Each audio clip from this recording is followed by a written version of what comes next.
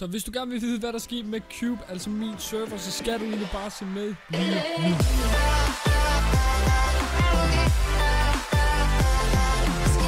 Halløjsa alle sammen, og rigtig hjertelig velkommen til den her video. Jeg har ikke uploadet i en måned endnu, og jeg tænker, at vi skal lave lidt om på det.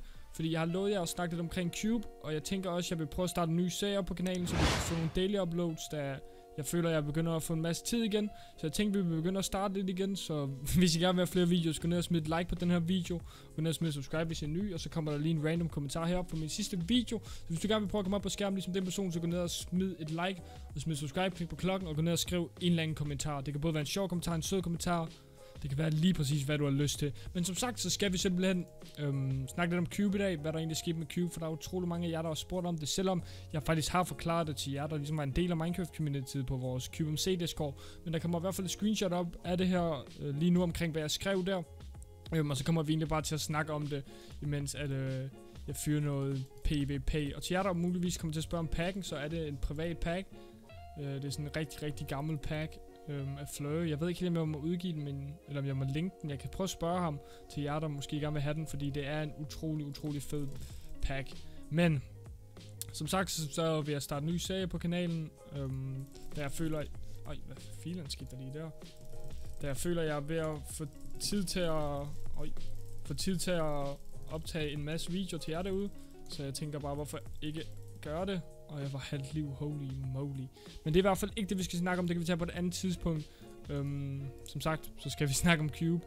Øhm, der, der er utrolig mange af jer derude, der har spurgt om det. Så jeg tænker egentlig, vi tager det fra en ende af. Øhm, ligesom i slutningen af, hvad der egentlig skete med Cube, og hvorfor det egentlig lukkede, og hvad der egentlig gjorde, så det lukkede.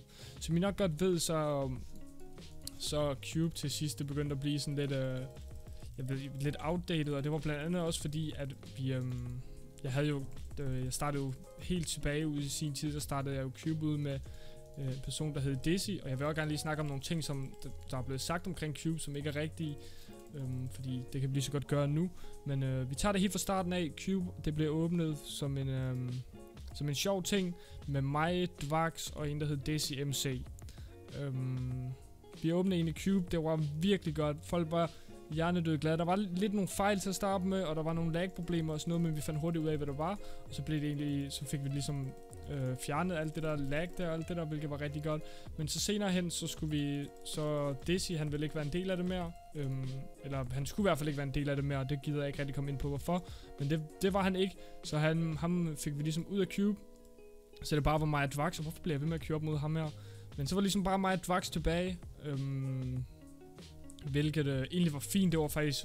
Jeg kunne meget bedre lide, at det var mig, Dvax, end at ham med Dizzy MC var der. Ikke fordi jeg har noget mod Dizzy. Han er også en virkelig flink person intet der. Men mig og Dvax, vi var ligesom... Vi snakkede virkelig godt sammen, og vi var... Selvom at vi ligesom havde en server sammen, og vi ligesom var arbejdspartneragtige, så var vi også venner og så og snakkede uden for, øhm, uden for ligesom Cube MC, fordi vi ligesom havde... Vi var, vi var egentlig meget gode venner. Øhm, og så, så begyndte vi at åbne en masse server, det hele kørte godt, og jeg var meget aktiv på YouTube, og vi havde det egentlig sjovt med det. Det var egentlig bare et lille projekt, vi ville prøve at starte, fordi hvorfor ikke? Det var meget sjovt. Øhm, og så begyndte der at komme alle mulige rygter omkring med, at, øh, at øh, jeg ikke ejede serveren, og Dvax han ejede serveren, og alle mulige den stil. Og nu kan vi lige godt sige det, som det er. Øhm, vi, øh, jeg, Dvax har aldrig nogensinde ejet serveren. Øhm, eller det er, sådan lidt, det er sådan lidt svært at forklare, hvordan det hele hænger sammen, fordi han var på en måde ejer, ikke? Men det var sådan, fordi at ligesom, hvordan, hvordan skal jeg forklare det? Jeg var ligesom, jeg var ligesom YouTuberen, og Dvax han var ligesom teknikeren på serveren eller sådan på serveren. Hvilket vil sige, at vi begge to var, var egentlig ejere af serveren. Altså vi begge to havde sådan lige meget magt i sidste ende. Øhm, det var ligesom os begge to, der bestemte over serveren omkring det hele. Så at sige, at Dvax var ejer, og jeg bare var ansat eller noget andet, det er overhovedet ikke rigtigt. Fordi mig og Dvax, vi startede det her op sammen helt forbundet af. Så øhm, det er ligesom alle mulige andre server, når de har to ejere. Vi valgte dog i stedet for, fordi at vi vidste jo ligesom godt, at det var mig, der skulle stå som ejer. Øhm, det, er ligesom, det er min server i sidste ende, så var det ligesom min valg, hvis man kan sige sådan. Det er ligesom... Altså, hvis der skulle ske noget med Cube, så er det mig, der havde Cube-agtigt, øhm, hvis man kan sige sådan.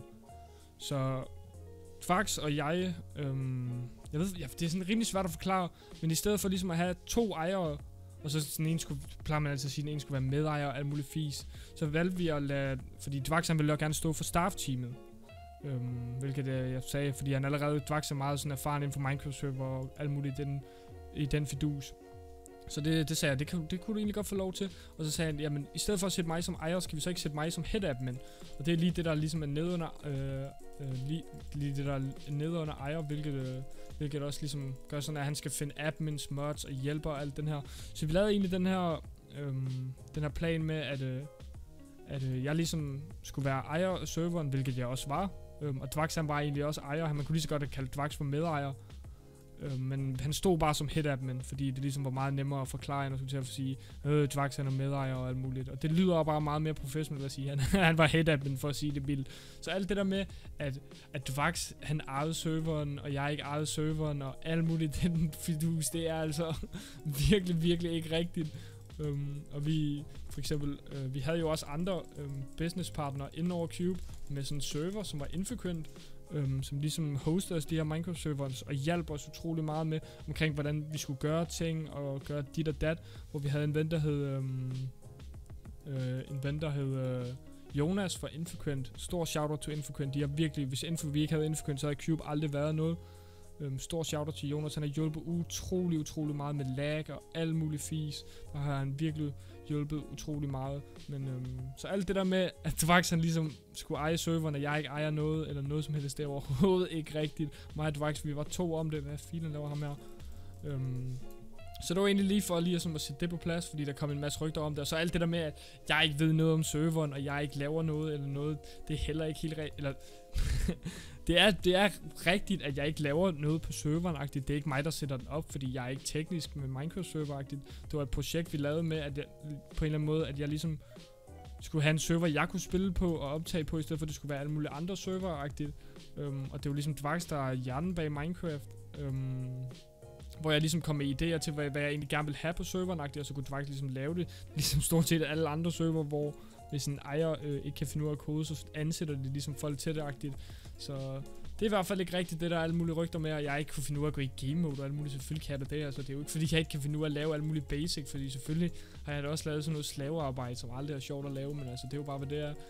Øhm, men ja, nu når vi har lige fået styr på det, så tænker jeg egentlig bare, at vi går lidt videre. Cube kørte egentlig fint, og øh, efter det der med, at vi havde åbent OP, vi begyndte at åbne nogle andre server og sådan noget, og alt kørte egentlig som det skulle. Øhm, men så begyndte, begyndte jeg at blive lidt inaktiv, og jeg begyndte jo at få alt det her med min... Øhm, alt det, der skete med min far, og jeg skulle finde ud af, hvad jeg ville i fremtiden, og alt muligt fis. Så der kom ligesom lidt stress på i min hverdag, øhm, hvilket gjorde, at jeg ikke rigtig fik optaget videoer, og der ikke rigtig kom til at ske noget, fordi at der ligesom ikke var motivation for det, agtigt, hvilket også gjorde, at i sidste ende, så Dvax han ligesom ikke, han havde ikke rigtig lyst til at være en del af Cube mere, hvilket øhm, jeg egentlig også godt kunne forstå. Og det var egentlig lidt der, at Cube det begyndte sådan at gå lidt ned, fordi så var det egentlig bare mig og MW Foran. Og selvfølgelig så, ikke fordi at Foran ikke var god eller noget som helst, fordi det var han, han var en kæmpe stor hjælp. Øhm, det var han, og nu dør vi sgu. Men han var en kæmpe stor hjælp foran, og det skal man kun takke ham for. Men det var ligesom der, hvor Cube begyndte at gå ned, og det tror jeg også mange af jer derude kan mærke lidt.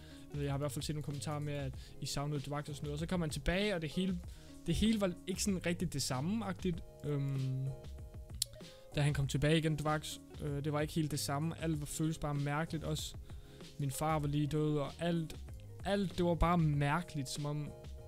Ja, det føles ikke som det var dengang af Cube. Det var dengang, og det var egentlig lidt derfor det lukkede, at jeg ikke rigtig følte, at jeg havde tid til det mere. Øhm, hvilket jo er virkelig, virkelig... Oj, nu får jeg filen tæsk. Nej, nej, nej.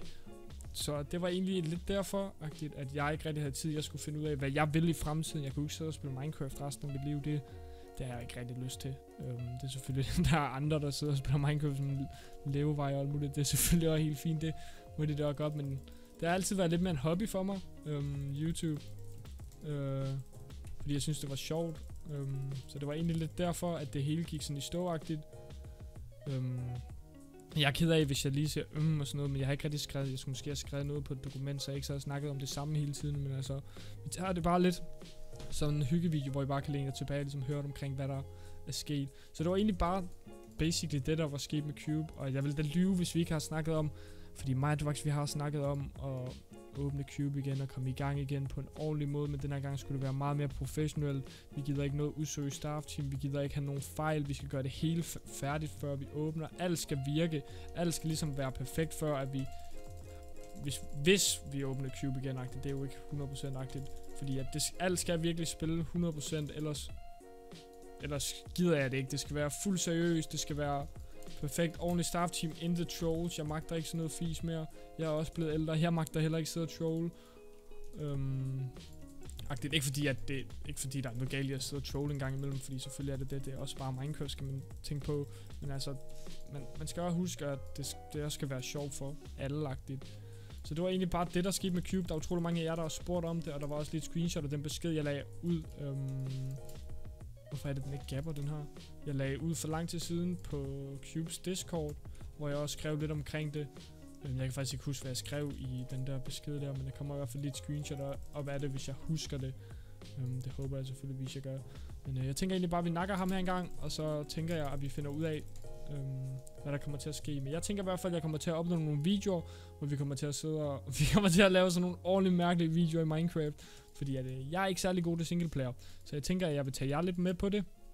Og ligesom, øh, og ligesom lære, øh, så I ligesom kan lære mig, hvordan man spiller singleplayer, hvis det giver nogen mening. Og hold det fedt, ham han er en sweat. Han kommer til at tabe på grund af det der. Jeg banker dig. Du taber. Bang. Okay, ham han tror, han vinder bare roligt, vi har ham, vi har ham. Men altså ja, det var egentlig det, der skete. Og så lad os lige flække ham her. Åh oh, nej. Hvordan kan han have så meget liv? Det var mega vigtigt, det der. Skal du have den der lave der, bro? Fik et crit. Jeg har ikke flere blocks. Det er ikke godt. Jeg tager lige min vand eller lave der. Lad nu være med bow. Se, han tror, han er god ham her. Bare vent, når han er færdig, så er han færdig. Og jeg misser den der. Please, jeg mig. Ej, hvorfor går den i F5? Jeg har ikke flere arrows. Jeg får lige et crit. Eller ikke et crit. Åh, oh, han er sur nu. Åh, oh, jeg fik ikke min lava før. For double hit. Uh, den gjorde ondt, var. Jeg tror ikke rigtig, han har flere gaps. Har han ikke flere gaps? Har du flere gaps, var? Har du flere gaps? jeg har et gap mere, mand. Ses på grillen. I hvert fald tusind tak, fordi I gav med på den her video. Jeg er ked af, hvis det blev sådan lidt en, en lidt seriøs video på en eller anden måde. Fordi det var jo aldrig sjovt at lukke cube, fordi det var jo min lille baby-agtig. Men i hvert fald tusind tak, fordi I gav med. Jeg håber, at I nød den og ligesom forstår lidt det her, at, øh, at det ikke bare var for sjov, at jeg ligesom bare lukkede den, eller hvad man skal sige, agtigt. Der ligger ligesom noget bag ved det. Øhm, men ja, jeg håber i hvert fald, at vi kan komme stærkt igen. At No Gang, de kommer til at return på et eller andet tidspunkt. Jeg håber, at jeg begynder at tage mig lidt sammen og begynder at uploade nogle videoer. For det er jo ikke fordi, jeg synes, det er kedeligt Men det kan også godt være, at der kommer andre slags videoer nok. Der kommer stadig, nok stadigvæk til at komme CS-videoer ud. Der kommer måske også Fortnite-videoer ud, hvis jeg har lyst til det. Selvom Fortnite, det er rimelig ass, for at sige det mildt. Men det må vi egentlig se på. I hvert fald, tusind tak, fordi I gav med på den her video. Jeg håber, I har haft det fedt. Og så ses vi nok forhåbentlig, måske i morgen. Men man ved aldrig. Peace.